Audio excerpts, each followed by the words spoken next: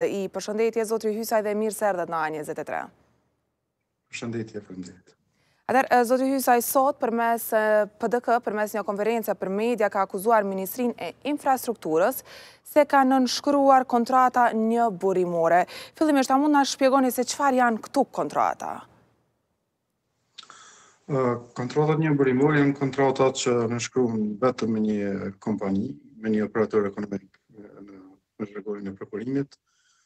Uh, unë e pashë listën e kontratave që ishin publikuar në media edhe të, këto të gjitha uh, pothuajse shumica e kontratave janë uh, aneks kontrata të kontratave të mëhershme edhe me të cilat të ligji të obligon patjetër që ato të jenë njëburimore pasi vetëm kompania që e ka fituar kontratën fillestare mund ta fitojë një aneks kontratë. Dhe shumica prej 42 kontratave ishin të tilla në këtë rast. E qartë, por a ka të drejtë faktikisht zotri Hysaj të aplikohen këto kontrata me ligjin e Kosovës, apo janë të jashtëligjshme dhe duhet një kontratë të jepet vetëm përmes tenderve? Si shkon gjithë kjo procedurë nëse mund të na shpjegoni që ta kemi edhe më të qartë?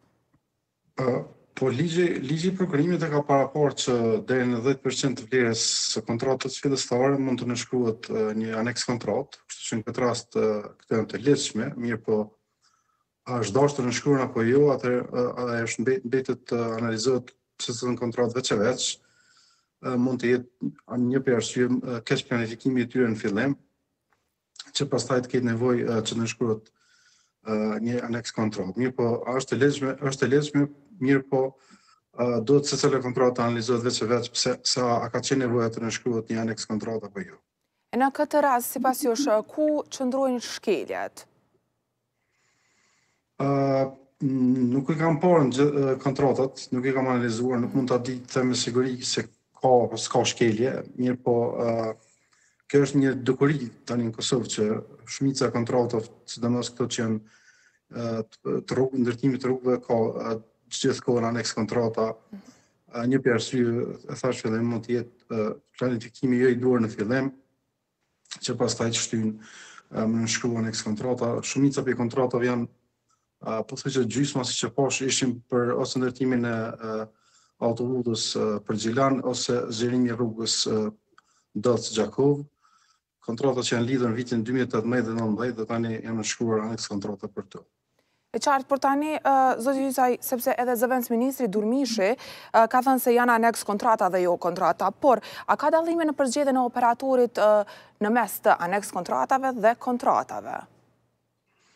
Po, dallimi kryesor është që aneks kontrata duhet të nënshkruhet patjetër me operatorin që ka fitu kontratën, në këtë në rastin, për shembull të autoudhës, që ka fitu kontratën vitin 2018, që ka qenë s'i kam parë emrat e tyre, ndërsa po të hapet tender i hapur i ri, atëherë mund të ofertojnë të gjithë edhe edhe fiton ai që i plotëson të gjitha kriteret që janë që janë kërkuara.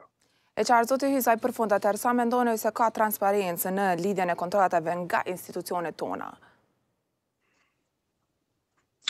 Kontratat tani janë të gjitha transparente, dokumentet shumica prej tyre publikohen në, në e-prokurim, disa prej tyre mund të kërkohen, shumicën e rasteve institucionet japin qasje, nuk di sa të them më shumë për, për, për punën e transparencës.